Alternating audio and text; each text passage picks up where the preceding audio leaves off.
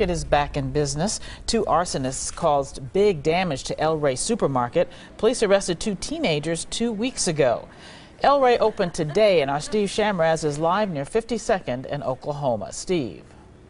Carol, most people probably take their neighborhood grocery stores for granted, not customers of El Rey who waited for the store to reopen after that devastating fire.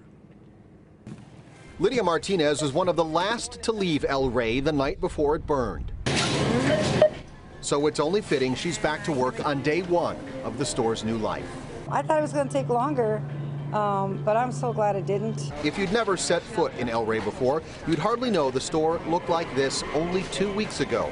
Torched in an arson, police blame on two teenage boys. Now the produce is fresh and neatly stacked. The aisles of dry and canned goods, just as you would expect them. I was kind of bummed when it happened because I was coming by the next morning and I saw the all the fire damage. I'm like, well, they're done for a while, but that was pretty quick. Quick is relative, though, when you lose such an important part of your daily life. It seemed like a month, and it was only two weeks. And you don't realize what you have until it's gone. Now that it's back, it means people like Lydia are working again, and the store is once again able to nourish the neighborhood. But they're all happy. They're happy. Everybody's really content and happy that this is is uh, opened up so quickly.